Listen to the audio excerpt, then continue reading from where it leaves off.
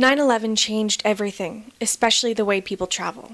Ten years later, places like the Dane County Regional Airport are hopping, but the way we fly is different. Are we safer? Wisconsin Reporter asked if security has gone too far. No, no, it's not too much. I mean, if anything, it gives me a feeling of security, you know, to know that they are beefing things up and protecting our country.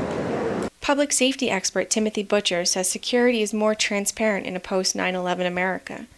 Passenger screening begins when travelers purchase tickets. All ticket buyers have to provide full names and birth dates when ordering. That continues when passengers make their way to departure gates. I, I personally think that 9 11 was an emotional event.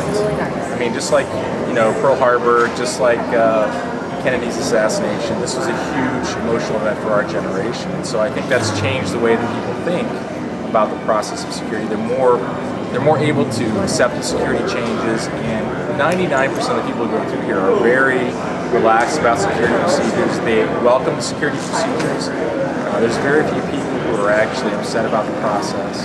So I think it's changed the mentality of the passenger. They're more willing to accept those changes and any future changes. And you're going to see a lot more changes in security uh, in the near future. We're going to go to more of a risk-based security approach. So not everyone is going to get the same procedures done to them. It's going to be based on that. Like I said before, um, when you first buy that ticket, there's a lot of stuff we know about when you buy that ticket. So we'll base that screening on risk based on what we saw in your background.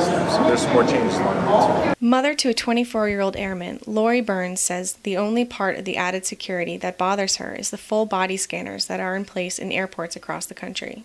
It's something this traveler can live with. A lot of people have gotten over it, but the full body thing is a little too much, I think. I, I don't know. I mean, we've gotten by all these years and stuff like that, but they need to tighten security, so I understand that. And I'd rather have a safer country than, you know, so, and people should understand that. As Americans live with a new normal post 9 11, the friendly skies still may not feel so friendly, but America remains in flight.